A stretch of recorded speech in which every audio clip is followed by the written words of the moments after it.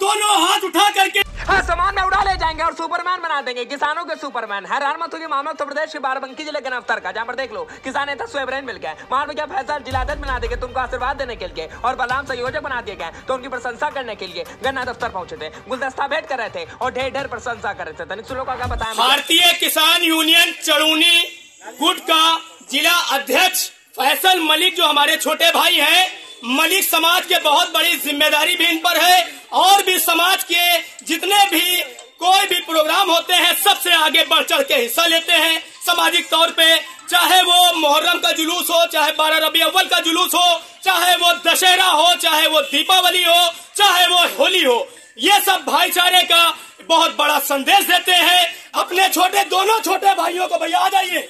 हमारे पीछे कहाँ छुपे बैठो सामने अब यहाँ घसीट रहे बलराम का आगे करो के बाद युद्ध को फैसलो आगे करो कहाँ बगल में खड़े हो? सामने खड़े हो भैया। अब दोनों को भैया बगल में खड़े करके बीच में छांदी चौड़ी करके मुँह छेतान करके दोनों का आशीर्वाद देंगे। भैया आशीर्वाद देना कोई इनसे सीखे देखो खूब तरक्की का आशीर्वाद। दोनों हमारे छोटे भाई है इनको हम दोनों हाथ उठा करके आशीर्वाद देते हैं और ये मनोकामना करते हैं कि हमारे ये छोटे भाई को जो जिम्मेदारियाँ मिली है इसका ये पूरी तरीके से पूर्णता ज़िम्मेदारी के साथ पालन करेंगे और किसानों की सेवा में किसी प्रकार की कोई भी कमी नहीं छोड़ेंगे। अब किसान नेता स्वयं तो भैया कहा था, किसानों के सुपरमैन बने जा रहे किसान नेताओं के सुपरमैन बने जा रहे भर भर के आशीर्वाद दे रहे थे और उम्मीदें भी लगा रखे अब फैजल मलिक को नई ज़िम्मेदारी मिली पहले राजनीतिक पार्टी में थे भैया, लेकिन अब किसानों की सेवा करेंगे। किसानों की आवाज़ को उठाएँगे। इनके साथ बकायदा बलरामो जुटे रहेंगे। और फ़िलहाल दूसरी खबर देख लेते हैं। हम कहीं के उत्तर के बगल में, भैया देख लो, राम खिलावन भैया मिल गए ये बकायदा फतेहपुर के रहने वाले हैं। देवखरिया गाँव पड़ता है बेचारे बहुत ज़्यादा परेशान है। पट्टे की ज़मीन पर बाँस बोकर बेचा करते थे। बहुत साल से भैया। लेकिन अब देखो इनके पड़ोसे का आदमी कब्जा कर ले रहे हैं। इनका बगदा भगाए देते हैं। तनिक सुनो बेचारे आप बीती सुना रहे थे। को,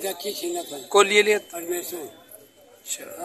लंबा परिवार है। गाँव के भैया प्रधानों जानते होंगे और बकायदा फतेहपुर तहसील के एसडीएम साहब जानते होंगे। हम तो कहेंगे साहब तनिक कार्रवाई कीजिए। कोताल साहब आप दो चार फटकार लगा दीजिए। वे बच्चे वाले सुधर जाएँगे और डीएम साहब तक एप्लीकेशन नहीं पहुँच रही होगी। अब बेचारे बुज़ुर्ग कहाँ पहुँचा पाते होंगे? पर हमें दिखाया था कि डीएम साहब तनिक देख लीजिए। एसपी साहब तनिक देख लीजिए। हो सके तो बेचारे बुज़ुर्ग की मदद कर दीजिए। राम खिलावन बहुत ज़्यादा परेशान है बेचारे। देखो मार चश्मा पहने मार हिल ले जा रहे थे। फ़िलहाल तीसरी खबर देख लेते अब मैरिज करने से पहले सावधान हो जाइए वरना काम ससुराल वाले पैसे की डिमांड करेंगे दहेज की डिमांड करेंगे और नहीं तो तुम्हारी बिटिया इतनी हाजिर हो जाएगी कि सूली पर लटक जाएगी। हैरान मत हुई मामला उत्तर प्रदेश के बाराबंकी ज़िले कुर्सी थाना क्षेत्र का जहाँ पर देख लो, संदिग्ध हालत में नवविवाहिता ने फांसी लगा ली। ससुराल पक्ष पर दहेज प्रताड़ना का आरोप लगा है। और इसके साथ ही दो महीना पहले भैया, युवक जिसका नाम गुलशन है और मृतका का नाम किरण है, जिसकी उम्र मात्र भैया इक्कीस बाईस साल रही होगी। इन लोगों ने बकायदा शादी की थी और देख लो, आज बकायदा संदिग्ध परिस्थितियों में शव मिला है। पुलिस से भैया सबको अपने कब्जे में लेकर पोस्टमार्टम के लिए भेज दिया गया और मृतका के परिजन सब आरोप लगा रहे देखो, मैं देखो, दहेज की डिमांड करते थे। हमारी बिटिया को खा लिया, हमारी बिटिया को हमसे छीन लिया। फ़िलहाल बाराबंकी जब कुर्सी के लिए एबी फोर की बैपर वीडियो शेयर करा चैनल से लो शाम मसाजी खबर से मिलेगी। दबा दो बेल आइकन कसके